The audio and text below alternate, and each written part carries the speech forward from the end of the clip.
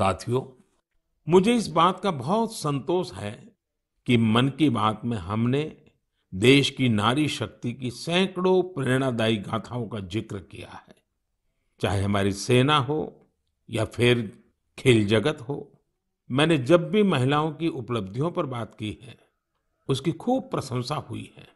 जैसे हमने छत्तीसगढ़ के देउर गाँव की महिलाओं की चर्चा की थी।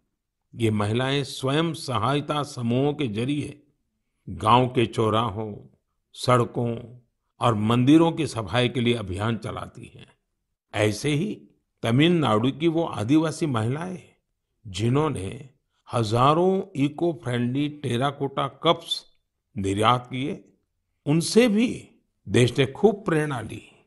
तमिलनाडु में ही बीस हज़ार महिलाओं ने साथ आकर वेल्लोर में नाग नदी को पुनर्जीवित किया था।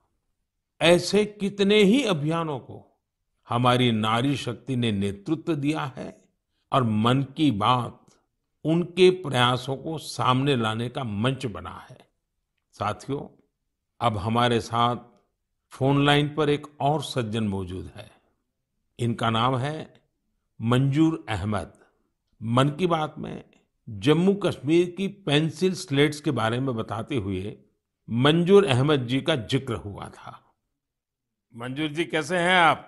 थैंक यू सर बड़े अच्छे से है सर मन की बात के इस सौवें एपिसोड में आपसे बात करके मुझे बहुत अच्छा लग रहा है। थैंक यू सर अच्छा ये पेंसिल स्लेट्स वाला काम कैसा चल रहा है? बहुत अच्छे से कर रहे हैं सर बहुत अच्छे से। जब से सर आपने हमारी बात मन की बात में कही सर तब से बहुत काम बढ़ गया सर। और दूसरों को भी रोज़गार यहाँ बहुत बड़ा है इस काम में। कितने लोगों को अब रोज़गार मिलता होगा? अभी मेरे पास 200 प्लस है। अरे वाह! मुझे बहुत खुशी हुई। जी सर जी सर। अभी एक दो महीने में अभी मैं इसको एक्सपांड कर रहा हूँ कि और 200 लोगों को रोज़गार बढ़ जाएगा सर। वाह वाह वाह। देखिए मंजूर जी जी सर। मुझे बराबर याद है और उस दिन आपने मुझे कहा था कि एक ऐसा काम है जिसकी न कोई पहचान है न स्वयं की पहचान है और आपको बड़ी पीड़ा भी थी। और इस वजह से आपको काफ़ी बड़ी मुश्किलें होती थी वो भी आप कह रहे थे। लेकिन अब तो पहचान भी बन गई और 200 से ज़्यादा लोगों को रोज़गार दे रहे हैं। जी सर जी सर। और नया एक्सपांशन करके और 200 लोगों को रोज़गार दे रहे हैं। ये तो बहुत खुशी की खबर दी आपने।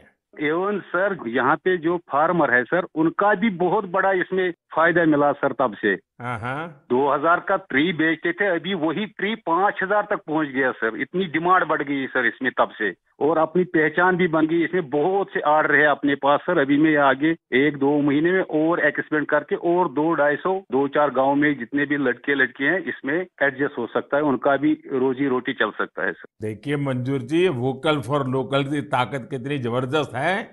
आपने धरती पर उतार के दिखा दिया है। जी सर जी सर। मेरी तरफ़ से आपको और गाँव के सभी किसानों को और आपके साथ काम कर रहे हैं सभी साथियों को भी मेरी तरफ़ से बहुत बहुत शुभकामनाएँ। धन्यवाद भैया। धन्यवाद सर। साथियों हमारे देश में ऐसे कितने ही प्रतिभाशाली लोग हैं जो अपनी मेहनत के बलबूते ही सफलता के शिखर तक पहुँचे हैं। मुझे याद है विशाखापट्टनम के वेंकट मुरली प्रसाद जी ने एक आत्मनिर्भर भारत चार्ट शेयर किया था। उन्होंने बताया था कि वो कैसे ज़्यादा से ज़्यादा भारतीय प्रोडक्ट्स ही इस्तेमाल करेंगे। जब बेतिया के प्रमोद जी ने एलईडी बल्ब बनाने की छोटी यूनिट लगाई या गढ़ मुक्तेश्वर के संतोष जी ने मैट्स बनाने का काम किया, मन की बात ही उनके उत्पादों को सबके सामने लाने का माध्यम बना। हमने मेक इन इंडिया के अनेक उदाहरणों से लेकर स्पेस स्टार्टअप्स तक की चर्चा मन की बात में की है।